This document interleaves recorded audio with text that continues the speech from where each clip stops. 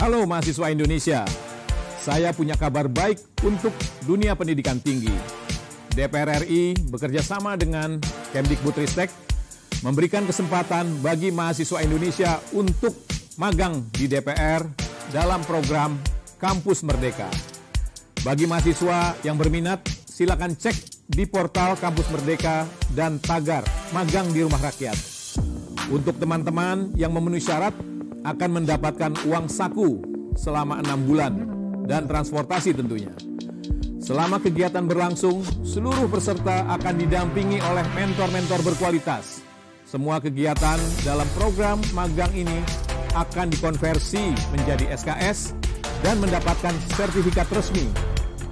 Program ini terbuka untuk semua jurusan. Jangan lupa, segera daftarkan diri Anda. Kampus Merdeka, ambil kendali masa depanmu.